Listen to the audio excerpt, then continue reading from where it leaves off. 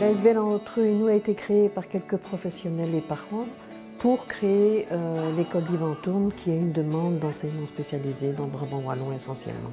En important cette année-ci, c'était que vu le développement de l'école, nous avons réellement besoin d'un moyen de transport parce que jusqu'à présent, ce sont les professeurs qui utilisaient leur voiture pour tous les déplacements avec les enfants.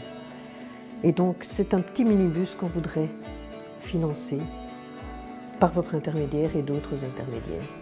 Si vous hésitez à participer à un style de collecte crowdfunding comme euh, l'APCAP 48, n'hésitez plus et euh, n'hésitez pas non plus à recontacter vos contacts à nouveau, à nouveau, à nouveau, car c'est souvent à ça qu'on se confronte. On a un petit peu peur d'ennuyer les gens et non, il faut les recontacter et essayer d'y mettre un peu d'humour.